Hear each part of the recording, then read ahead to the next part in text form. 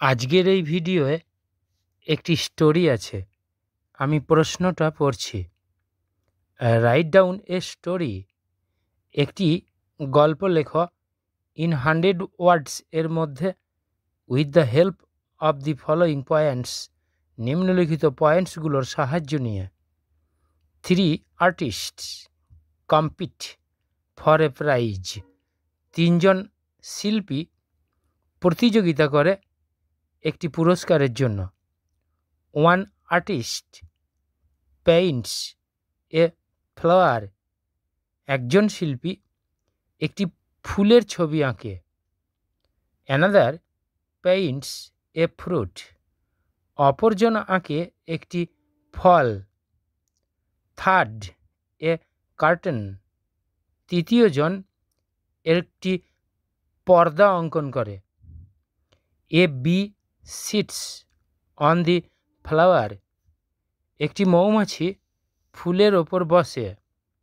An ox tries to eat the fruit একটি ষাঁড় চেষ্টা করে ফলটাকে খেতে।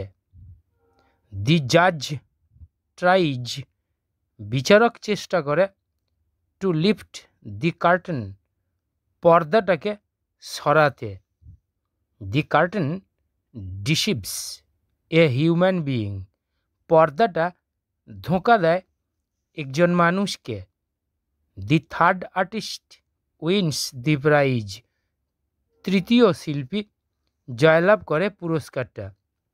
এখন আমি স্টোরিটা পড়ছি, a competition among three artist তিনজন শিল্পীর মধ্যে একটি প্রতিযোগিতা। ওয়ান্স এক সময় থ্রি আর্টিস্ট লিভড। তিনজন শিল্পী বাস করত ইন এ কিংডম, একটি রাজ্যে। All of them were renowned.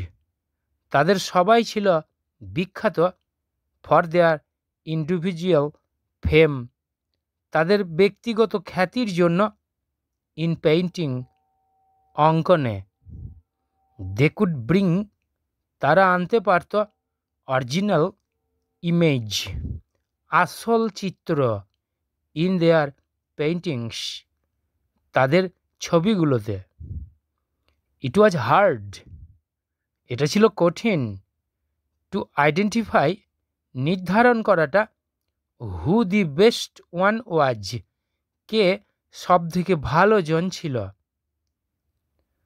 One day একদিন এ কম্পিটিশন ওয়াজ অ্যারেঞ্জড একটি প্রতিযোগিতার আয়োজন করা হয়েছিল।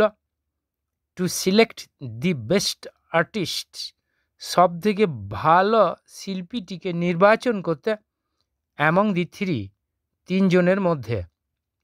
অন এ ফিক্সড ডে একটি নির্দিষ্ট দিনে দি থ্রি আর্টিস্টস অ্যাপিয়ার্ড তিনজন শিল্পী হাজির হয়েছিল। And a lot of spectators এবং প্রচুর দর্শক অলসো গ্যাদার্ড জমায়েত হয়েছিল টু ওয়াচ দি কম্পিটিশন প্রতিযোগিতাটা দেখতে। সাম অ্যামানেন্ট জাজিস কিছু বিখ্যাত বিচারক অয়ার প্রেজেন্ট উপস্থিত ছিল ফর দি জাজমেন্ট বিচারের জন্য। The three artists tried their best তিনজন শিল্পী তাদের সর্বশ্রেষ্ঠ চেষ্টাটা করেছিল টু ডিসপ্লে দেয়ার ট্যালেন্ট তাদের প্রতিভা প্রদর্শন করতে।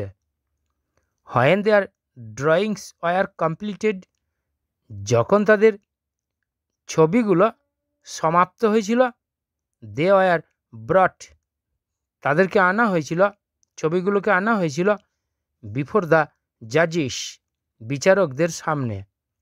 One drew a flower. একজন এঁকেছিল একটি ফুল হুইচ লুকড সো অরিজিনাল যেটাকে দেখতে এত আসলের মতো লাগছিল দ্যাট যে এ বি কেম একটা মৌমাছি এসেছিল অ্যান্ড স্যাট অন ইট এবং এটার ওপর বসেছিল। সিইং ইট এটাকে দেখে দি জাজেস ওয়ার ভেরি ইমপ্রেসড বিচারকেরা খুব অভিভূত হয়ে গিয়েছিল, বা অবাক হয়ে গেছিল দি সেকেন্ড ওয়ান পেইন্টেড দ্বিতীয় জন এঁকেছিল the picture of a fruit একটি ফলের ছবি। অ্যান অক্স ইনস্ট্যান্টলি কেম একটি ষাঁড় তৎক্ষণাৎ এসেছিল and tried to eat the fruit এবং ফলটাকে খাওয়ার চেষ্টা করেছিল বিকজ ইট লুকড কারণ এটাকে দেখতে লাগছিল লাইক এ রিয়েল ফ্রুট একটি আসল ফলের ন্যায়। দি জাজেস আর প্লিজড বিচারকেরা খুশি হয়েছিল। দেন দে কেম তারপর তারা এসেছিল টু দ্য থার্ড পেন্টিং তৃতীয় ছবিটার কাছে। ইট ওয়াজ এ কার্টন এটা ছিল একটা পর্দা হুইচ যেটা the জাজেস could not at all understand বিচারকেরা আদৌ বুঝতে পারেনি অ্যাজ এ পিকচার একটি ছবি হিসাবে। They tried to lift the curtain তারা পর্দাটাকে সরিয়ে দেওয়ার চেষ্টা করেছিল। অ্যান্ড দে আর মেড ফুল এবং তারা বোকা বনে গিয়েছিল। বাই দি থার্ড আর্টিস্ট তৃতীয় শিল্পীর দ্বারা। ইন জাজমেন্ট বিচারে the art of the third one তৃতীয় জনের শিল্পটা ওয়াজ দি বেস্ট সব থেকে শ্রেষ্ঠ হয়েছিল। বিকজ কারণ ইট কুড ডিসিভ এটা ধোঁকা দিতে পেরেছিল দি স্কিলফুল জাজেস দক্ষ বিচারকদের। অ্যাট লাস্ট অবশেষে the third artist became the best তৃতীয় শিল্পী শ্রেষ্ঠ হয়েছিল অ্যান্ড ওন দি প্রাইজ এবং পুরস্কার জয়লাভ করেছিল। মরাল মানে নীতি to deceive a learned person is also a special art একজন জ্ঞানী ব্যক্তিকে ধোঁকা দিতে পারাটাও এক বিশেষ কলা কৌশল